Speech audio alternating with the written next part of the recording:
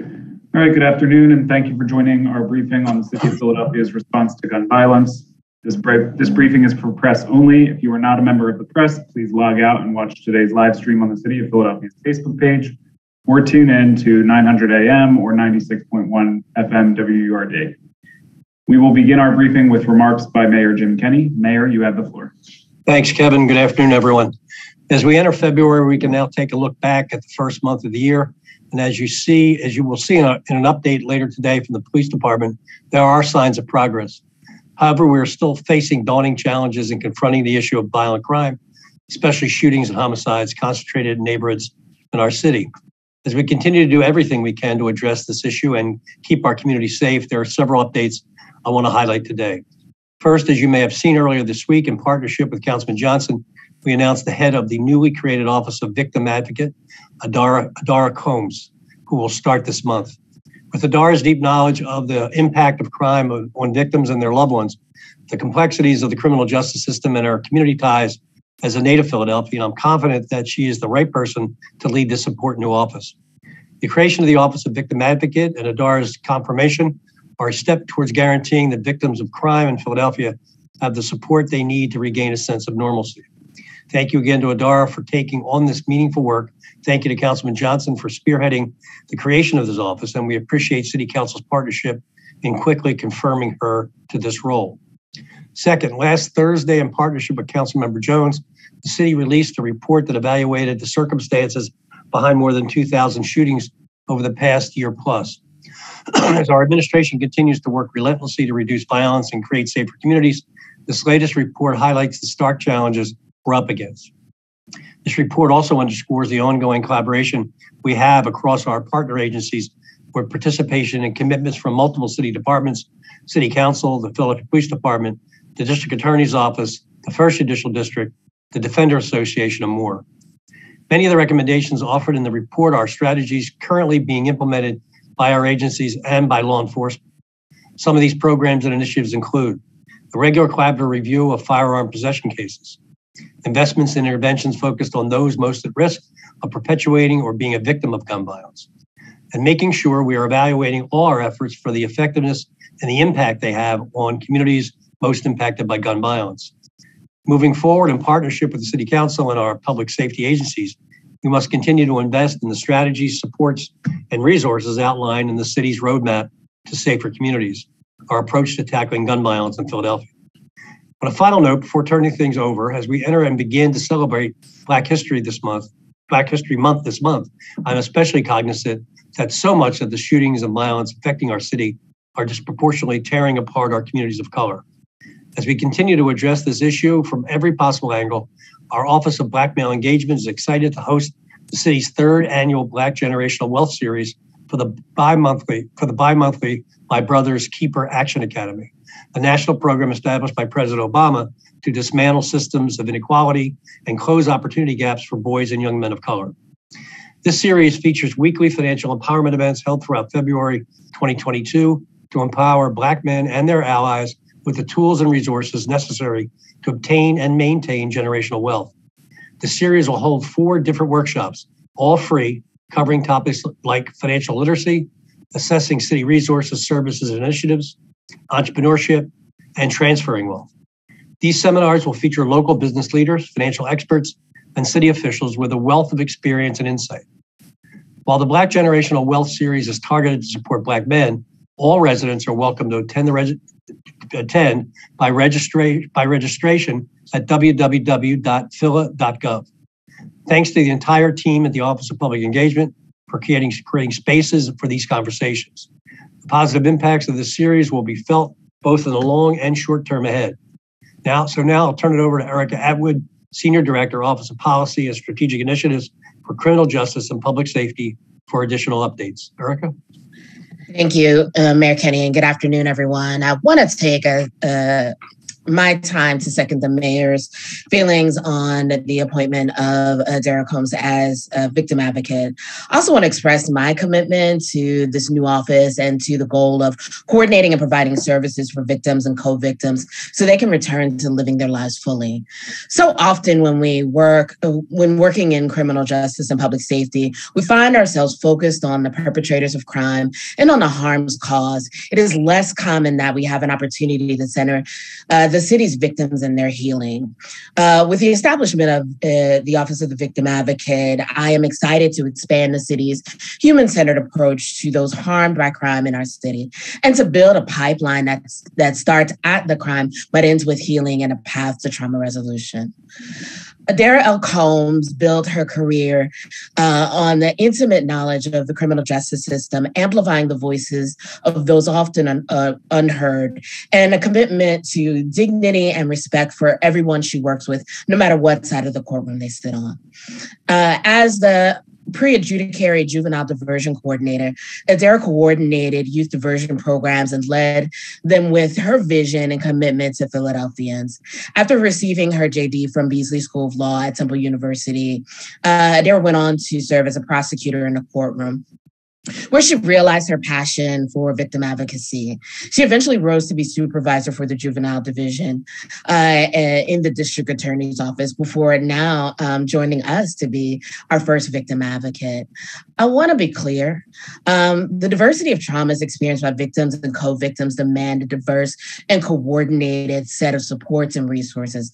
I believe Adara, with her long career in criminal ju- in the criminal justice system and her commitments to Philadelphians, is the right person to provide this long overdue coordination and advocacy. More than just her, her credentials, she's a Philadelphian born and raised. And I am confident that her appointment and the creation of this office, um, because she's committed to this city and its people. She understands the needs that we have and has ha- her hand on the pulse of the city. We look forward to uh, building a partnership with Adara in the coming weeks as she establishes herself in this role. And she will be uh, in the office bright and early Monday morning, um, February 7th. I'm optimistic that together we can build pathways not only leading to justice, but healing for all Philadelphians. Uh, and with that, I'll hand it over to Commissioner Outlaw.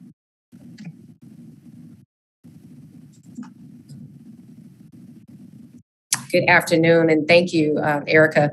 Before beginning our presentation, I wanted to discuss the officer involved shooting that took place a couple of days ago at 27th and Brown Streets.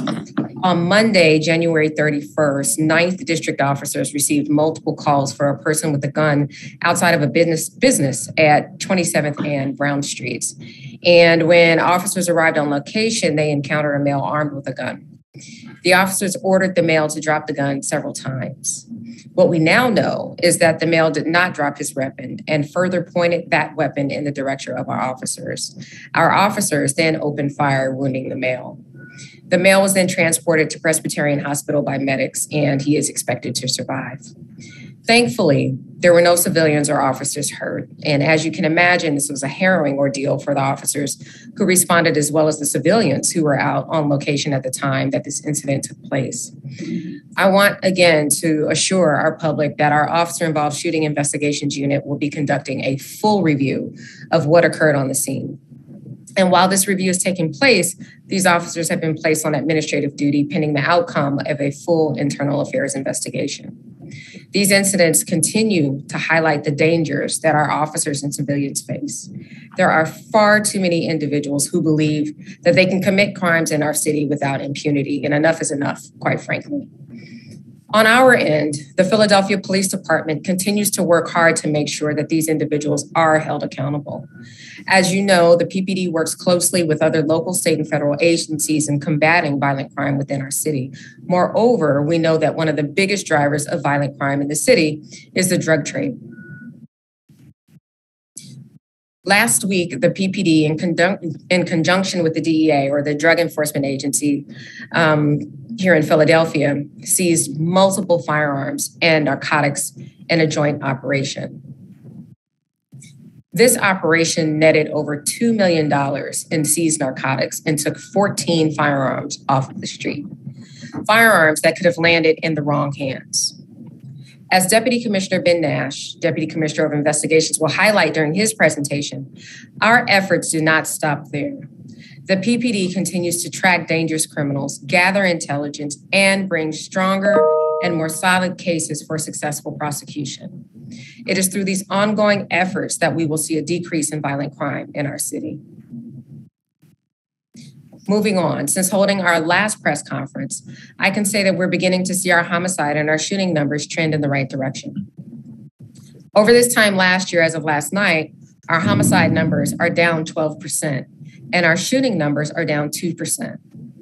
While we remain cautiously optimistic that we will continue to see these numbers go down in the weeks and months to come, we will continue to keep a very close eye on these data points and ensure that we're deploying the appropriate resources in the areas where they are needed. Deputy Commissioner Dales, who's our Deputy Commissioner over Patrol Operations, will elaborate on this further during his presentation. Listen, we know that the number of homicide and shooting victims is still up from our previous years, and we are working tirelessly to apprehend the individuals responsible and to stop them from committing these crimes in the first place. Again, those affected by crime aren't just statistics to us. These are individuals, they're human beings, they're family members whose loss affects many, many people around them. These are individuals whose lives that are changed forever, who experience hardships and who struggle to return to a sense of normalcy long after they were touched by crime. Before I turn this over to Deputy Commissioner Dales, I wanted to take a moment, uh, as the mayor did, to acknowledge Black History Month. This month celebrates the many accomplishments of Black Americans and our contributions to the cultural tapestry of the United States. Our country has come a long way from the nation's birth until today, but we still have a lot of work left to do. Black History Month is about celebrating our contributions, but also about finding our voices, using those voices for good, and fighting for freedom, equality, and justice. I encourage everyone to reflect on how Black Americans have added to our nation's history and commit to embracing each and everyone's unique perspectives and embed these perspectives into forging a deeper understanding of each other while bringing stronger communities. To see what the Philadelphia Police Department is doing during Black History Month, please visit our Facebook and Twitter pages and make sure to follow your district's Twitter for PPD Black History Month events. Lastly, I am pleased to announce that this Friday, February 4th, the police department will graduate a class of 22 new police communications dispatchers. With the graduation of this class, we will have added 50, 50, 50 new police communications dispatchers in the past two months and expect that the significant influx of new PCDs will help alleviate some of the issues that we've been experiencing with wait, uh, wait times around 911. I want to thank these dispatchers that have answered the call to help their city in its greatest time of need. We are thankful to have them and we wish them long and successful careers.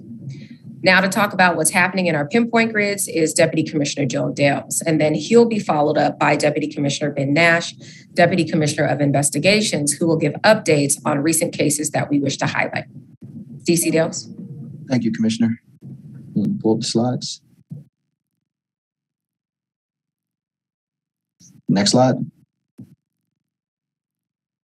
Okay, I will start with the citywide homicide and shooting victim stats looking at the top of the chart year to date as of January 30th of this year, uh, Philadelphia had 43 homicides and 182 shooting victims. In comparison to last year, homicides are down 10%, 43 this year versus 48 last year, and shooting victims are down 4%, 182 this year versus 189 last year. However, in 2020, the city had six less homicides, which was at 37, and 74 less shooting victims, which is 108, when compared to 2020 to 2022 year in totals. I also want to point out the significant difference in the number of shootings that occurred inside of a building. In 2022, we had 14. In 2021, we had three. And in 2019, I'm sorry, in 2020, we had six. Looking at the bottom left of the chart, it shows the motives for the homicides. The top three motives are arguments. Number two, domestics, which is currently down by 50%. And number three, drugs. Next slide, please.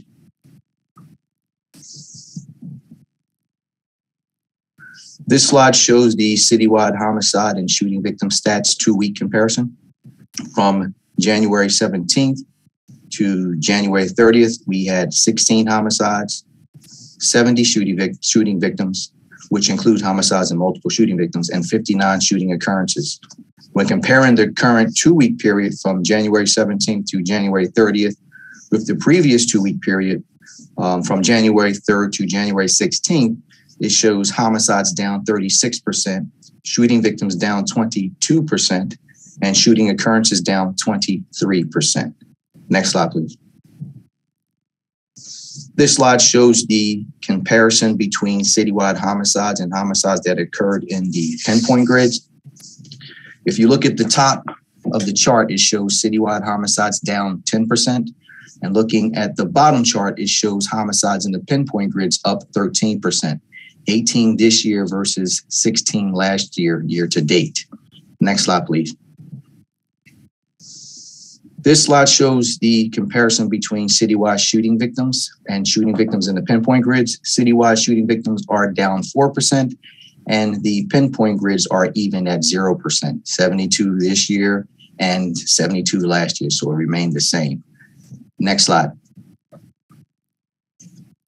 This slide shows the year in total VUF arrests for 2018 through 2021 and the total VUF arrests year to date for 2022 from January 1st to January 30th. In 2021, we reached an all time high for VUF arrests that totaled 2,541. And so far this year, we have made 185 VUF arrests.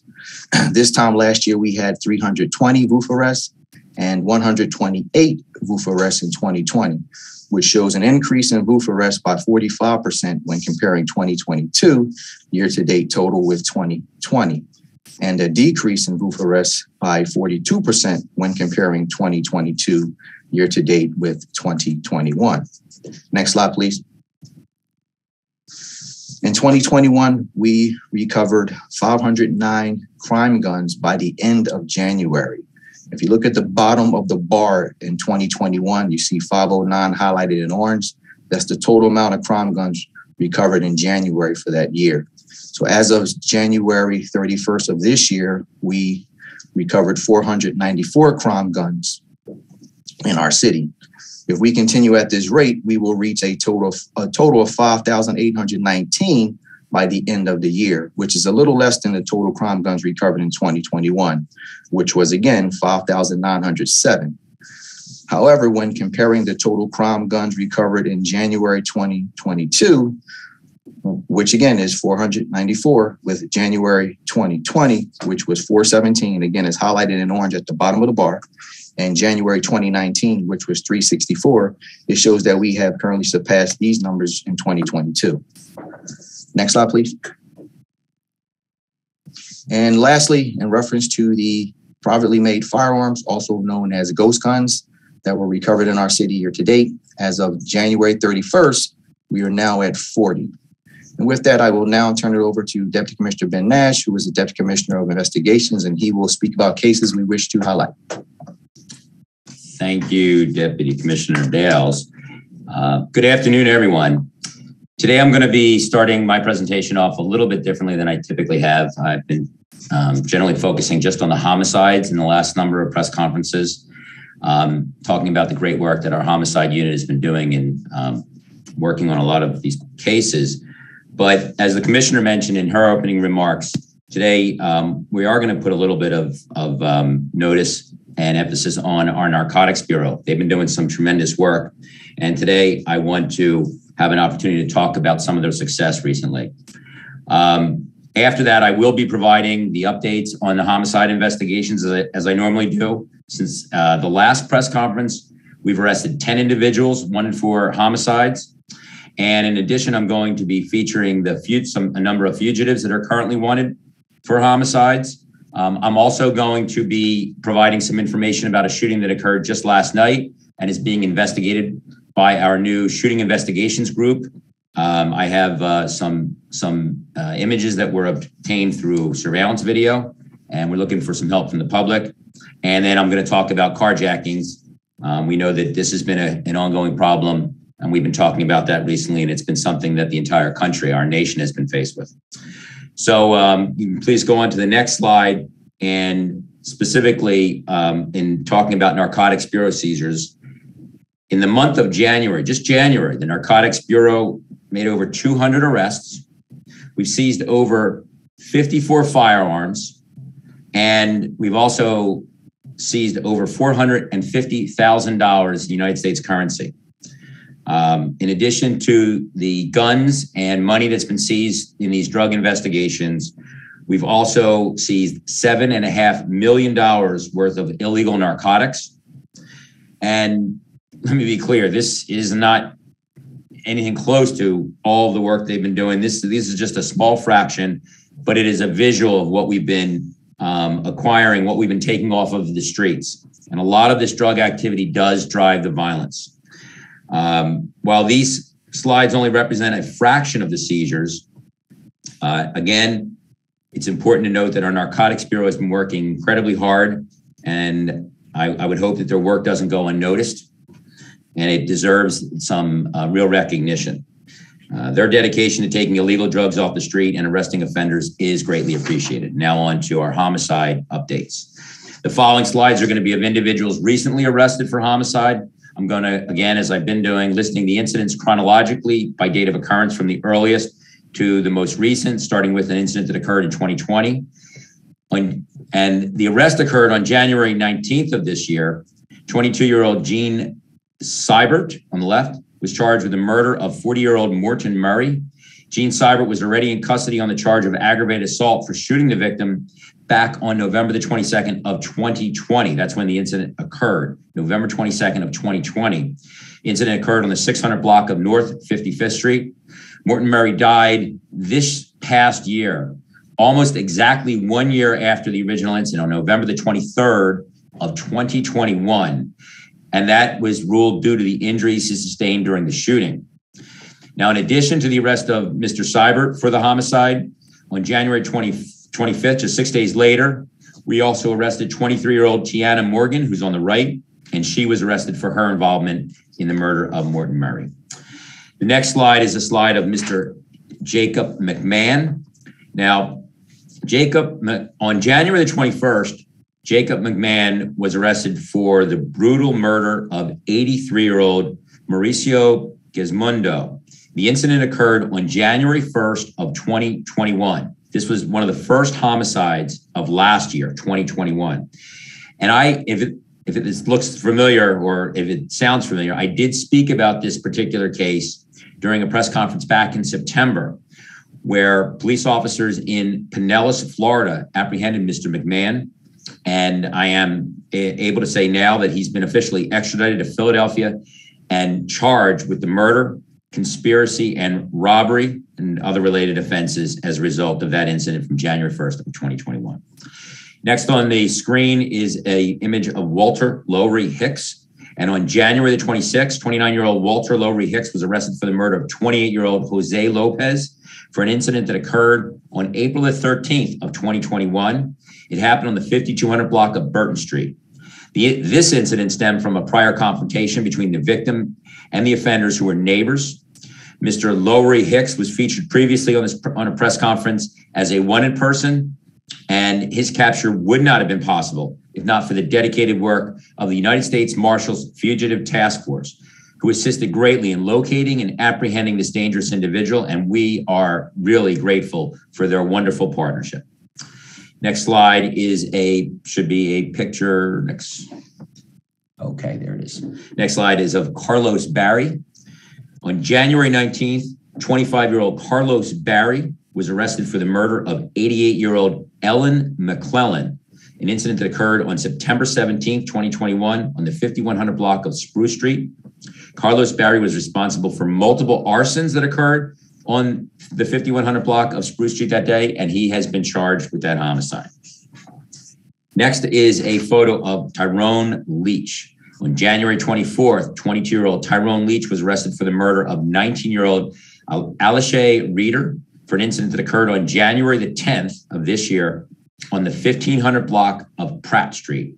Miss Reeder appears to have been an acquaintance of the offender. She was standing near the intended target when Tyrone Leach pulled out a gun discharged in their direction. and it appears unintentionally, but killing and striking uh, Alishay Reeder. Next slide is a, there it is, a picture, an arrest photo of Kelechi Chibundu.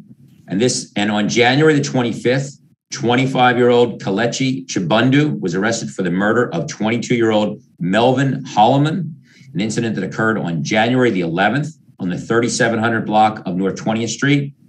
The motive for this incident appears to have been an argument. And during the execution of a search warrant on Mr. Chibundu's residence, we also recovered five firearms. And of those five firearms, two of the firearms were ghost guns or privately made uh, firearms. And that's what Deputy Dales often talks about in his presentation, along with one assault rifle. Now, the slide that's up on the screen right now is Jeffrey Stepien. And this case from uh, just a couple of weeks ago received a lot of attention. On January 19th, 48 year old Jeffrey Stepien was arrested for the brutal murder of 31 year old Samantha Mock that occurred minutes earlier on the same day on the 3000 block, on, I'm sorry, on the 300 block of Chestnut Street. Stepien beat Miss Mock to death with two metal pipes, and he was apprehended by police as he was attempting to leave the building. Next slide has photos of Deborah Gilliam and Nicole Redfield. And on January 28th, 41 year old Deborah Gilliam and 44 year old Nicole Redfield arrested for the murder of 57 year old Donald Dale. It occurred on the same date on the 3800 block of Poplar Street. The two offenders were staying with the victim and his wife when they got into a dispute over a high electric bill. Deborah Gilliam allegedly shot the victim multiple times um, and was in the company of Ms. Redfield. Um, the arrest was made at the scene.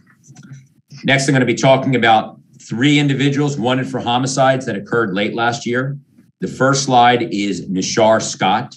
39 year old Nishar Scott is wanted for the murder of 42 year old Raymond Lightly for an incident that occurred on November the 1st of 2021 on the 900 block of South 4th Street. This arrest warrant was just obtained recently on January the 26th, and the motive for this homicide is believed to have been retaliation.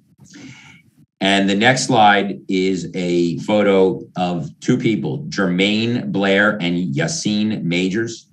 23 year old Jermaine Blair and 23 year old and 23 year old Yassine Majors. They're both wanted for the murder of 28 year old Tamir Brown for an incident that occurred on December 28th, 2021, on the 2600 block of Germantown Avenue. This arrest warrant was obtained on January 25th. And let me be clear this is an indication of how we continue to work the cases from previous months and previous years. Both of these incidents are from, um, uh, both of these wanted are from incidents that occurred last year, and we'll continue to work on these cases and bring those cases and bring those arrests in hopefully soon. And next, I'm going to talk about um, a one of the shooting investigations from our shooting investigation group. They just went up uh, just this this past Monday, and they're working on an investigation from yesterday. Um, and it happened yesterday at around 3:44 inside of the Garcia grocery store at 642 West Diamond Street. There were five unknown black males that walked up to the front of the store, fired multiple shots inside of the store. Um, all five of the shooters got into the white Kia Seltos that you see on the screen. We did have a, a, a, tag identified, and from that, we were able to identify that that vehicle had been previously stolen days earlier. Um, the, the vehicle traveled eastbound on Diamond Street. Now, the next slide has uh, images. If you put the next slide up, it has the images of um, they're heavily masked, but you can see the pictures of the three suspects, three of the five people that are involved in this homicide. Now, during this incident, two males were shot. The first male was inside of the store, and another male was riding his bike just past the store at the time that the shooting began. First male was shot three times in the legs, uh, once in each leg and once in the right ankle. Um, he was also he was transported to Temple Hospital by a family member. Second male shot in the left foot. Both the males are in stable condition, expected to survive. Um, as you can see from these images, they're at least the one on the left and they're wearing wearing very distinctive clothing. We hope somebody in the public will give us some information to help us identify these individuals. If you recognize them, please contact 911 immediately, or as always, call our tip line um, at 686 tips. Um, that's 8477. Um, and finally, I'm going to highlight we, as we talked about, our carjackings. We have made a number of arrests recently. Um, this one was uh, given a lot of attention. It happened uh, late on Monday. Um, Captain Ryan from Northeast Detective spoke about this case yesterday, um, so it did get a fair amount of coverage, and um, and it was um, Highway Patrol. I'm sorry, I, I, stand corrected. The one I'm talking, the one that happened yesterday is the next one. This first one is from January the 18th. This one happened in the from the 3100 block of Emerald Street. On January 18th at 9:20, Highway Patrol officers observed a vehicle traveling in the area of Margaret and Frankford Avenue, and the officers knew that uh, where they were following a vehicle that had been stolen during a carjacking, and they had information from police radio. The carjacking had occurred just 30 minutes prior and it had happened on the 3100 block of Emerald Street. The officers conducted a vehicle investigation. They stopped the three males that were inside of the vehicle. The carjacking victim was able to positively identify all three males as the individuals who had just robbed him and recovered from one of the suspects was a nine millimeter fully functional firearm loaded with 13 live rounds. Now, I'm not putting out pictures or the photos because, as in a lot of our carjacking investigations, if not all of them, um, we believe we recognize that the individuals that we've arrested uh, may be involved in other incidents involving carjackings. So we have to hold back on putting their photos out um, so that we can show them to other complainants from other carjackings that we suspect. But I can tell you that in this case, the three carjackers, their ages were 18, 19, and 27. Um, all three of them were charged with robbery, conspiracy, and related offenses. Um, two of them that, that committed that actually committed the carjacking, they were charged with the carjacking and uh, the possession of a gun violation of the Uniform Firearms Act. Now, this next one is, and you can see from Google Maps, this is the path of when the police got involved, um, or at least from the um, from part of it. It shows where uh, there was an, a second incident up on, on Crescentville Road. Um, and this is the one I was talking about that happened yesterday. And it was officers from our East Division Task Force. They observed a vehicle uh, in the area of Germantown and Cecil B. Moore Avenue. It fit flash information of a uh, Kia that had been taken from a robbery in New Jersey, in Cherry Hill, New Jersey. The officers attempted to stop the vehicle. It fled, and our helicopter, police helicopter, got involved with the pursuit. Uh, the driver of the suspected stolen vehicle, he crashed at a red light in the 6300 block of Crescentville. And that's where you can see the, the at the top left portion of the map is, is indicative of where that initial crash happened. He crashed into a car. It was a vehicle that was stopped. It was an, a Lexus. And we have video of that offender literally opening the door and pulling the woman out of that Lexus, throwing her out of the car. He jumped into the vehicle. He drove off. Our police helicopter was able to follow the vehicle from the air, providing updates to our officers on the ground. Other officers from the 26 were in the area of 300 Godfrey, um, and that's part of the blue line that goes down and then goes back up. Uh, they entered a lot. They observed the Lexus. The and that's the second dot, um, kind of in the middle. The officers uh, observed the vehicle. They tried to stop that, that vehicle from, from continuing, but the vehicle intentionally rammed into our police officers. It struck the uh, the marked police uh, the police vehicle. The vehicle um, continued on, and we were lucky that our officers did not suffer any life-threatening injuries. Um, the offender continued and drove away. He was able to get away from there, but shortly after that, uh, other officers observed the offender strike another unoc- unoccupied vehicle at Tabor and Sanger Streets. Um, he exited the vehicle, and that's the bottom right hand portion of the screen. Um, he ran from the scene. Officers were directed to that area. Officers were, were in that area. They chased him on foot, and he was arrested. He's been identified as 30 year old Samuel Ferreira. Um, and and that is a case that, that is the one that the uh, the captain from Northeast spoke about. Um, I just also want to add that we have also arrested seven other individuals for committing carjackings in this past week. The folks who aren't on. Um, sorry, somebody has their. Thank you so much. Um, okay, we have arrested seven other individuals for committing carjackings. Three of the suspects were driving vehicles that were taken during carjackings at the time of their arrest. Those suspects age ages range from 14 to 24. Now, we have a lot of additional work to do on those investigations to charge the suspects officially. Um, with carjacking, a lot of times we recover vehicles that have been taken in a carjacking, but we have to get them identified as being the actual carjackers or obtain other uh, forensic inform- uh, forensic evidence such as fingerprints or DNA off of the cars in order to get those charges um, approved through the DA's office and get them charged into the court system. Um, so we'll be doing that on a lot of other people. And in next week's press conference, I'll have additional updates, especially on the carjackings. And with that, I'm going to turn it back to Kevin at the mayor's office. Thank you, Deputy Commissioner Naish, and thank you to all of our speakers. Uh, we will now move to Q&A for members of the press. Because of limited time, only one representative from each media outlet is permitted to ask questions, so we ask that you coordinate beforehand. Reporters are asked to limit their questions to two or fewer for this first round.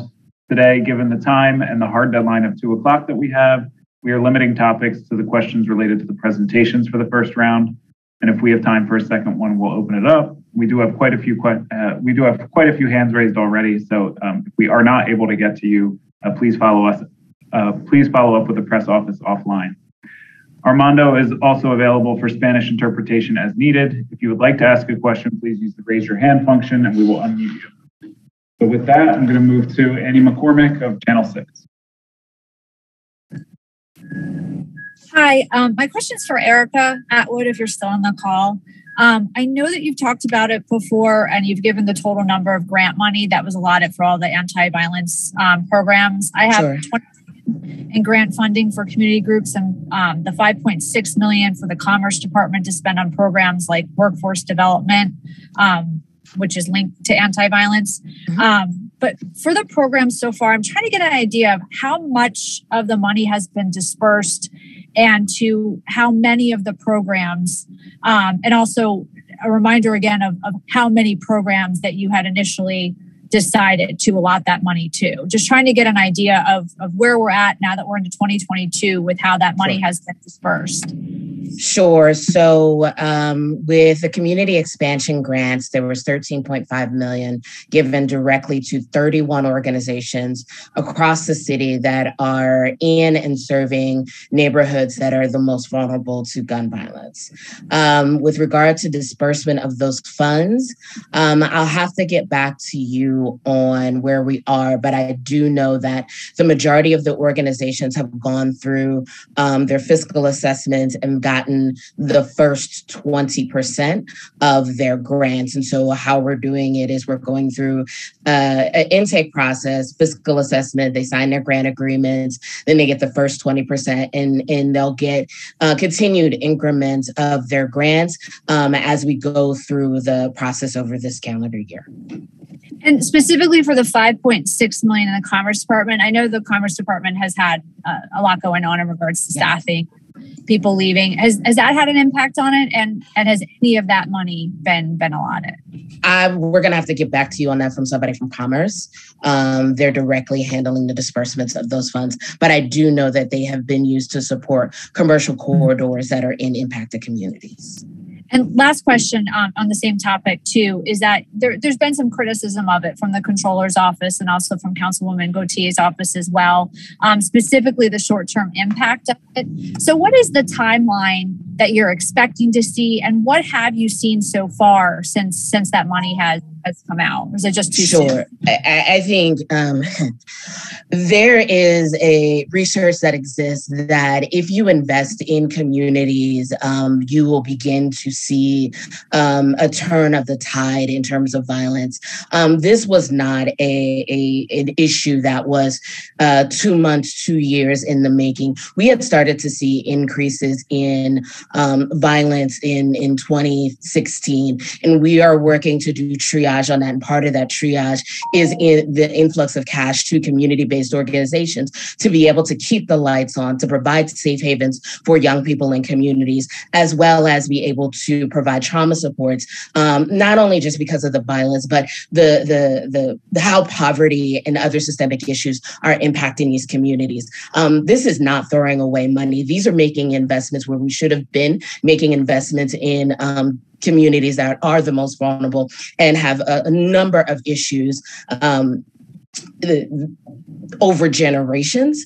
Uh, and so what we what we hope to see um, as we are starting to see some some stabilization of numbers we are we are hoping that this is a part of the equation that will begin to reduce violence. We can't say just investing in community organizations is going to be the um, the golden ticket. It is a part of the bigger puzzle um, to to strengthen the community connectivity and provide supports to long neglected neighborhoods um, I have one more question for police too. I don't know if I can ask that real quick. We're trying to get the data on how many and how many cases of victims or would-be victims um, have actually fired back injured um, perpetrators. Um, it doesn't look like there's any data anywhere. It appears that it seems to be happening more, but often what it appears to be, the optics don't match up with the data. And I'm wondering if that's something that you have or you're able to track or have tracked in, in, in the past six months. Annie, I don't I don't have the definitive numbers on it. Uh, um, I know that we had two recent carjackings um, where uh, would-be victims fired back, and we had the case, the incident from just yesterday, um, where a uh, woman inside of a shop that was being robbed uh, fired at at uh, one of the offenders, um, and she was also struck. Um, I'll have to get back to you with more definitive information um, on on how many we've had in the last six months, but I don't have that. At, I don't have that at the moment. Sorry. Thank you. Thanks, Annie. Uh, we'll now move to Kristen Johansson of uh, KYW. Hi there. Um, my question is first for um, Deputy Commissioner Naish. Do we know um, with the Amber Alert that went out this past weekend, which I believe it was Sunday, was is there any updates to that to even like pictures videos? So the incident i believe you're referring to was the car that was taken in a theft on saturday um, in the area of 2400 block of north 33rd street. There was a the four-year-old and the baby yeah. Yeah there was a four-year-old in uh, my understanding is the four-year-old was in the front seat and the child in the car seat was in the back. The, the four-year-old was dropped off almost immediately upon the car being taken and uh, the the vehicle was then uh, recovered, and um, the child was located at at 9:26. The incident happened at 7:06, as um, is the information that I have. So it was about a, almost a two and a half hour incident. Um, the Amber Alert went out at 9:01, um, and the answer the, the answer to your question about do we have any additional information?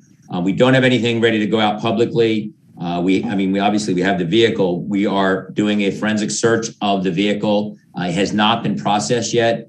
Uh, we'll be looking for fingerprints uh, and or DNA from our offender. Um, we're also continuing to look for video from the area where the vehicle was taken, where it stopped to drop off the, the, the first child and where it was recovered. But right now, I don't have any images to share, um, and we're continuing to work on that investigation.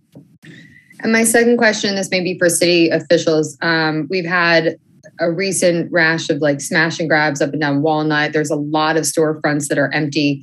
Um, the Walgreens is is is leaving, as is another Wawa. Have you guys had discussions with uh, the business, the commerce, the Chamber of Commerce, or this, you know, the Center City District about just that kind of like the emptiness and is that involved with crime? Like is crime maybe one of the reasons that they're pointing to?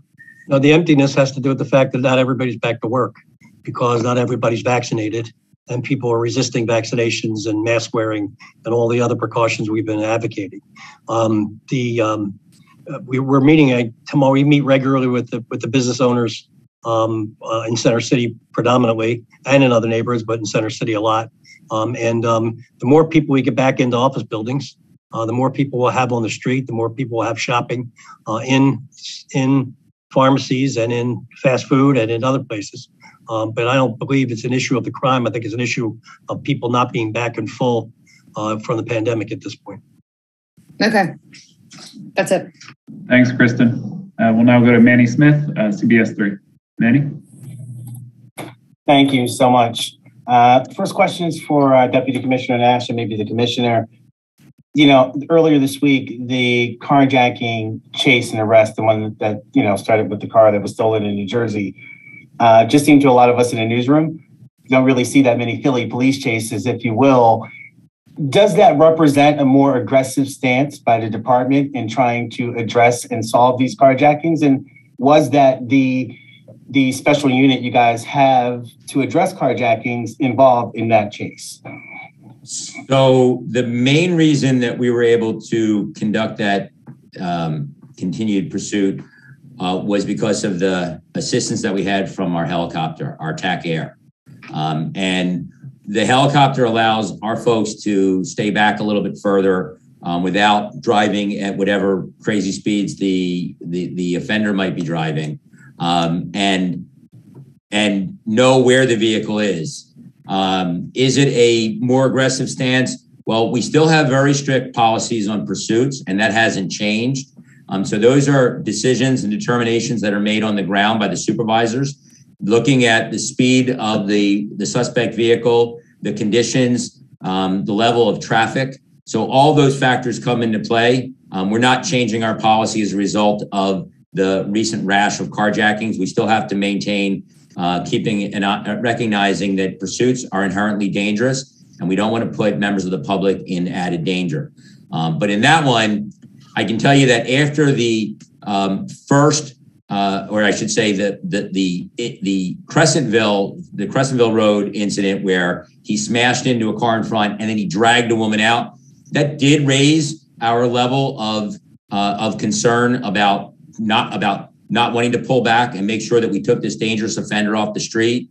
Um, but all in all, uh, we're, I don't think you're going to see more pursuits. We're using other means in order to identify our offenders. We're using a lot of investigative techniques, um, and we are working closely with our federal partners. We have partnerships with, and I've talked about them before, with the FBI, the ATF Alcohol, Tobacco, and Firearms.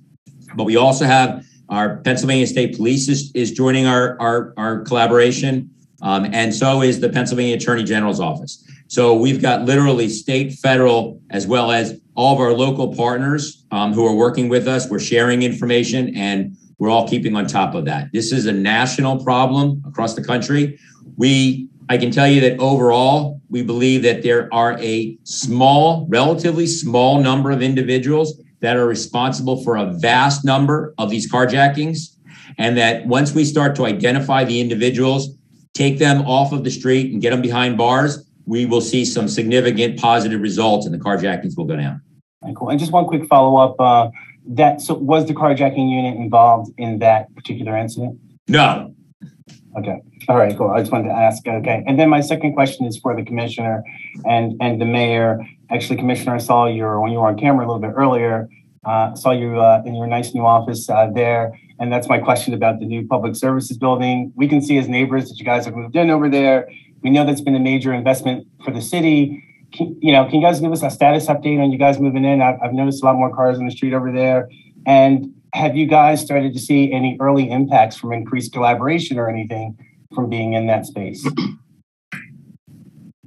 Um, you know, I can start. We're actually still in the process of moving in. So uh, we're not completely moved in yet. We, we're still um, between the old building and here.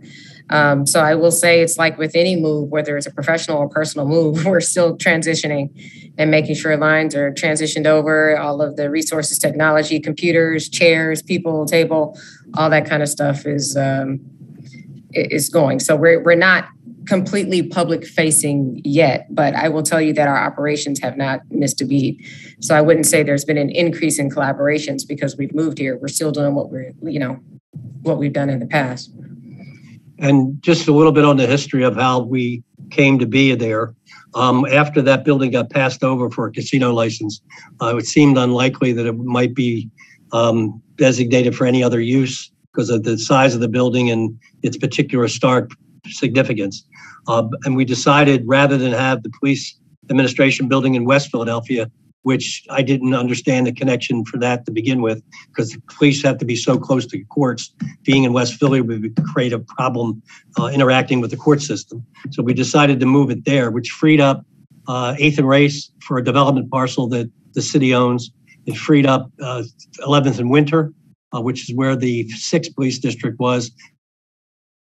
It got us out of a lease in the ninth district um, so we don't have to pay that anymore. Uh, and we're getting used, we're getting uh, the ability to use a building uh, that hope that would not maybe not have gone developed for a while. Um, so I think all in all was a sound decision. So you'll be saving money, is what you're saying, or? Well, I mean, once we see once we see what the other parcels go for in the market, I mean, Eighth and Race is a pretty marketable location for uh, the high number of residential developments that's going on. Um, so, I mean, we're hoping that we'll make a few dollars out of it and see what see what happens. But the Eighth and Race as a functional building for the police was well beyond its its years. I mean, it's it was not a great place to, to work in. And when I first became mayor, I remember taking a tour of Eighth, and Race and going to the homicide unit uh, and was appalled at the conditions that the homicide detectives were working in. Um, and uh, we also have now a, a state of the art 911 center, uh, which is unbelievably impressive. Uh, if you get a chance to get a tour of that. Um, so I think all in all, it was the right choice. Thank you very much. Thanks, Danny. Uh, we have about 10 minutes left and a couple of more questions. So uh, we'll now move to Chris Palmer at the Inquirer. Yeah, thank you. Um, just a question about the police shooting from the other day that the commissioner referenced earlier. Um, first, was that captured at all on any officer body worn camera? Um, I can answer that. Uh, the officers that responded to that incident had not have not yet been equipped with the BWC with the body worn camera, um, so we don't have that. But they are going to be receiving their BWCs very shortly. And are you uh, prepared to release the name of the person who was shot? And is that person uh, facing any potential charges in the incident? There are charges that are are pending, um, and I that that information will come out through our public affairs. That's it for me. Thank you. Thanks. Thanks, Chris. Uh, we'll now go to Mike D'Onofrio at Axios. Oh, I'm unmuted here. Okay, I guess this is for the uh, the commissioner. What do you attribute to? I don't know if you said this earlier. What do you attribute the drop in homicides and shooting victims to uh, so far during the first month of the year compared to last year?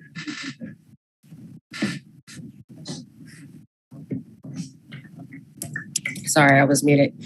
Hey there. Um, you know, I, we were seeing a slow but very steady decline uh, prior to the end of the year, and then we saw a quick uptick, which we had seen. You know, and I, know this because we track this and we review it daily and weekly. So I see this as a continuation of our efforts. Um, you know, I, I, know some people were thinking that it was because of the weather this past weekend, but these are numbers that include the days prior to that as well.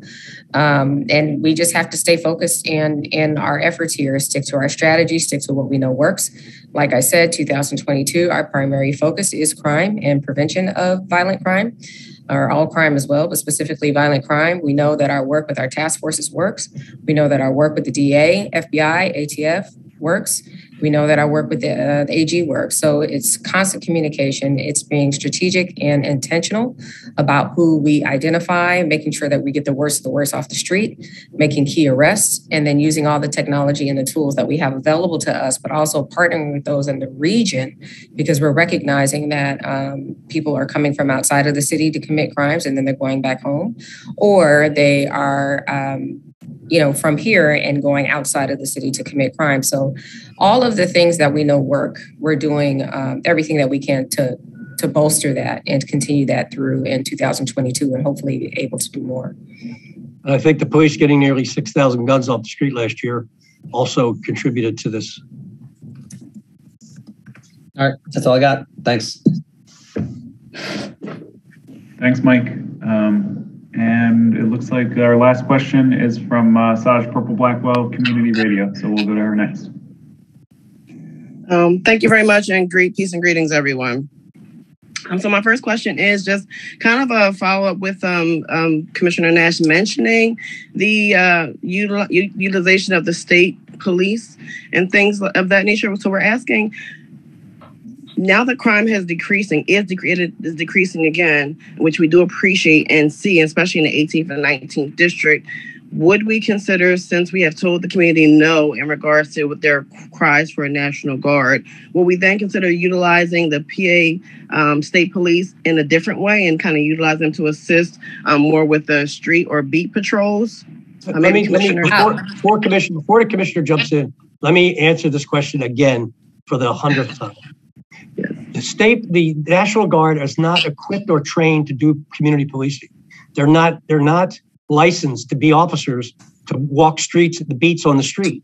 We used them during the course of the civil unrest to guard property. That's all they did. Our police were free to investigate crimes and make arrests. But the state, the National Guard never made any arrests. They guarded shopping centers, they guarded places of business. That's all they did. And then we were happy that we had them to do that. But having National Guard with rifles patrolling streets in Philadelphia is not a good thing. And I and again, it doesn't create any situation where they can make arrests. So I mean, I don't want soldiers marching around our streets. And I'll address the the second part of that. Uh, we're identifying uh, many avenues, not just the state police, um, to assist us because we recognize this is still a time of crisis. And, um, you know, we need to do what we can to work with our neighboring departments to have more visibility, have more boots on the ground. And so we are considering, and I'll leave it there, we're considering many options. Obviously, when we partner with other agencies, there have to be clear rules of engagement. There has to be, uh, you know, MOUs or MOAs memorandums of understanding or agreements uh, so we know who's responsible for what. Um, but I think it's very critical that we explore all options now. Uh, when it comes to that, because there are several agencies uh, that have jurisdiction here in the city of Philadelphia and would actually be very beneficial if we can do that, knowing that we have the current staffing concerns and issues that we have today. Oh, thank you very much. And now also, um, there has been an uptick of social media videos with young people with guns in their hands and touting guns, and um, you know, especially with this, you know, new movement of a certain song that's promoting this kind of talking behavior. Where it does the um, social media task force stand on it? Does it still exist, or, or how it, how are they handling these influx of videos with young kids with guns? So, so there's nothing. Got it? Okay. Uh, yeah, there's nothing new about young people posting videos with guns. We don't have, it's not that there's a task force. We have a unit within our uh, intelligence bureau that continually monitors open source social media platforms. And our investigators look at that. And if there are social media postings that indicate that people who we know or can, can recognize should not be in possession of guns, um, are displaying guns. We follow up on those, um, and we make arrests where they're warranted, where we can get prop, where we can get search warrants and arrest warrants for those individuals. That's there's nothing new about it. It's been going on for a long time, and we have been working very diligently on those platforms to to look for the kinds of things that you're talking about, and we're very much aware of them. And anytime they come to our attention, we we follow up as best as we can. So that's now. I, I will relate that to part of the problem with carjacking. We're we have a, a belief that um, that social media has been glorifying the carjacking, and they've been bragging about carjackings. So we think that some carjackings that are getting social media attention are leading to other carjackings, and that's predominantly where a lot a lot of the juveniles are coming in. Um, we think that they have been making somewhat of a spectacle in a game and keeping score out of something like this. Um, and unfortunately, they're going to find that it has an opportunity to, to, an unfortunate opportunity to ruin their life because they're going to they're going to be fa- facing harsh consequences when we catch them. And we are going to catch a lot of these individuals that are doing that. So social media has changed our society, but we're watching it very. We're watching all that we can in order to cap to identify people who are doing things they shouldn't be doing. I and, and I add to that, just and most importantly, Ms. Purple, whatever information you have or people in the community have information uh, where we see a possibility of gun violence escalating as a result of the social media postings you're seeing, please mm-hmm. report it to the police. We can't do it ourselves. If you see something, let us know. We do have a tip line. You can contact our tip line 215-686-TIPS. So please share that information with us, okay? Thank you very much, and thank you for the input. Especially, of, we state we talked about this uh, police, uh, the state police coming in because we noticed that in the tri-state area, some of the smaller cities have been very effective with utilizing their state police, you know, decreasing crime by 50 and 60 percent. So, you know, now that we understand that the mayor says there's not going to be National Guard, what other tools can we use? That's all. Thank you. I love you, Purple. Thank you, Mr. Mayor.